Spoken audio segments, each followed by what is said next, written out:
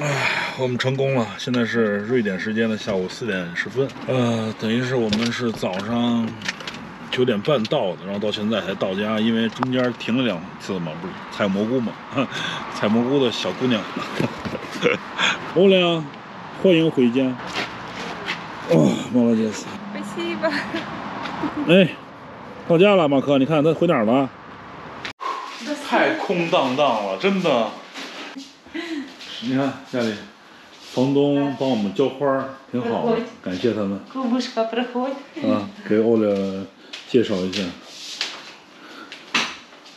这是我们俩的睡房。嗯。嗯。家里真空哈、啊。小猫，小猫可有地玩了。哎呦，我天！哎。Тут ванна, туалет. Ні. Це хазяїва на другий поверх. 哎呦我去！哎呀，真空啊！嘿，小猫，嘿嘿。我给你们看一看啊，我这辆车啊，这辆车六个人，六个人装了多少东西？我一个鱼包啊， 钓鱼这包啊，一个箱子一这个，这是给别人的，这我们就不装。婴儿椅在里边，小屋里看看，走，看啊，这都是从这儿，这个全部都是啊，全部都是。这辆车。卸下的。还有一个外面的包，书包他拿走了，然后还有欧来的东西呢，走，欧来看看你的东西，走，欧来的啊，一个大，一个袋子，小的，看见没有？小的，还一大红包，看见没？六个人，你现在让我装，我可能装不回去了。哎呦我天哪！我没敢开快，一路上我最多也就一百、一百一、一百一都没有开过，因为车太沉了，我就怕这弹簧崩了，你知道，因为装太多东西，肯定是超载。你想这么多人，两只猫，这么多东西啊，这么多东西，我的天，就装那小车里，车是不小，但是跟这么多东西比起来，老天爷挺给面子，挺照顾我的，谢谢。这小猫特别可爱，很遗憾，很遗憾，我们现在就要把这两只猫送到朋友家，人家都等不及了，你知道，人路上就说你们什么时候来，什么时候来，他们要挑一只，然后剩下一只呢给另外一大哥送过去，他呢孩子也怕过敏，他先待两天，如果有过敏情况呢，我们再拿回来，然后再再给别人就行了，就这种情况。呼，到家了，我的天哪！下一站，下一站就是看回中国要带多少东西。我东西倒不会太多，但是回来的时候肯定也不少。我的天哪！哎，今天是一个非常重要的日子啊！马克啊，你知道今天去哪里吗？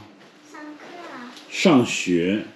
今天是你第一天上小学，瑞拉，你还是要去幼儿园的啊。过两年你再去上小学，好不好？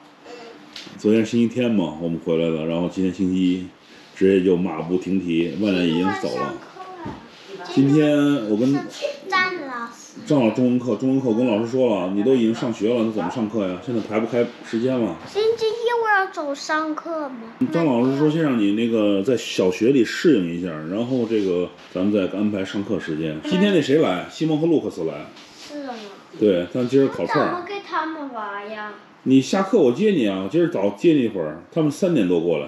我要上课一会儿吗？你要上课，对，上到可能两点吧。今天咱们撸串儿，啊，呃，想不想吃？想走了。走了。小猫，哎呦，昨天把他兄弟已经给送走了，那家特别喜欢，一直在说谢谢谢谢谢谢。哎，过两天这位辈也得走，要不然不行，月子太难受了。哎，希望我月子今天不会闹。就鼻涕哈拉就没停过，然后眼睛还有点肿。别别别！得，就还一？有惊无险啊！下一站送马克，马克你好好表现啊。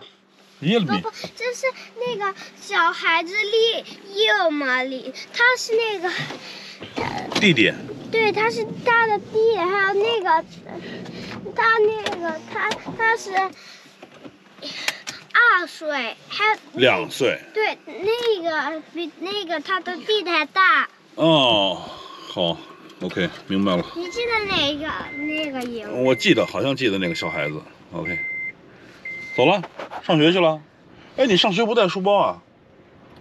我也书包呀。这边他这个上学啊，就是现在是没有书本的，就是也是玩儿，就跟学前班似的。对，那个说完你把那个衣服脱掉啊，要热的话。帽子不用戴了，扔了吧。